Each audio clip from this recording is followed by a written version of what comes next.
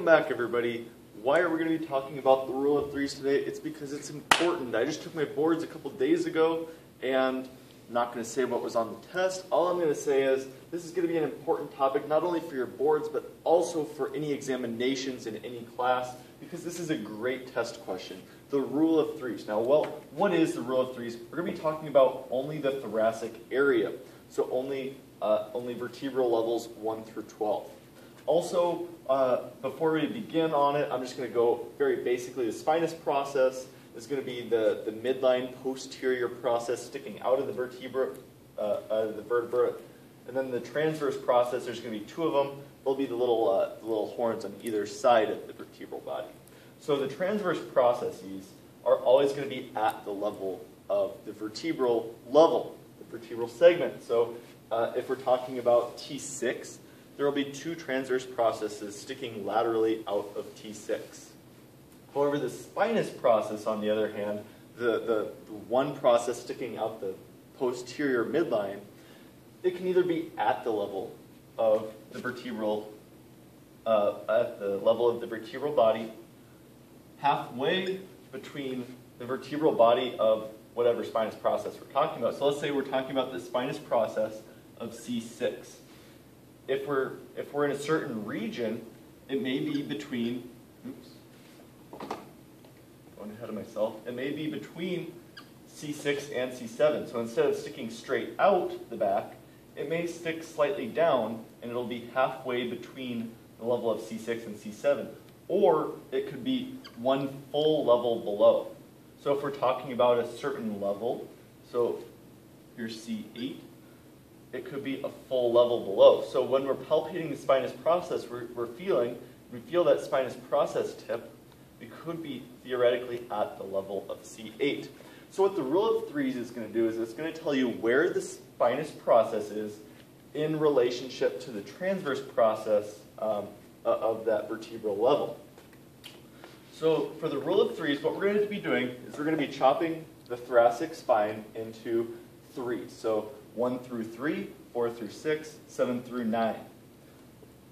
Well, that's not all of the levels yet. So we're just going to do 1, 2, and 3. So now we have six different topics that we need to talk about. 1 to 3, 4 to 6, 7 to 9 is where we're going to start.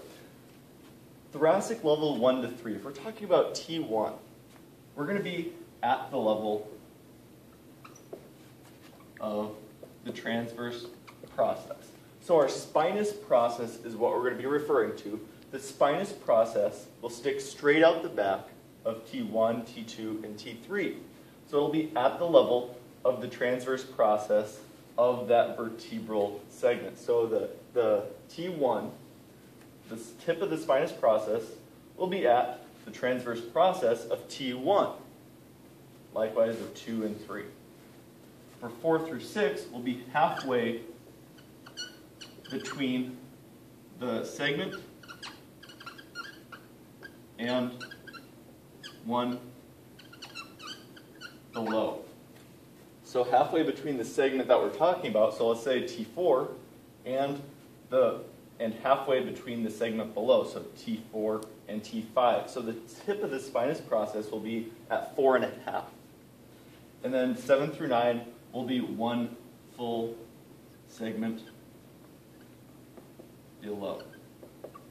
The tip of that spinous process will be at the vertebral body or the transverse process of the unit below. So if we're talking about uh, T7, the spinous process will hang all the way down over the body of T8, and we'll be able to see the spinous or the transverse processes of T8 uh, at the level of the spinous process of T7. Now that's kind of a confusing subject. Uh, it, I did say that right, so if you need to rewind, go ahead. Um, now we're going to be talking about 10, 11, and 12. Where do these fit in? Well, T10 is going to be the same as 7 to 9. 11 is going to be the same as 4 to 6. And then T12 is going to be same as 1 to 3. So 1 to 3, at the level, 4 to 6, half, 7 to 9, a full below, 10, we're going to be the same as 7, 8, 9, 11, 4 to 6, and 12, 1 to 3. So this is going to be the rule of threes. It's a little confusing. However, remember, this is a high yield topic. Uh, any anatomy class, any OMM class, any board examination you're going to be taking, uh, this will be a very high yield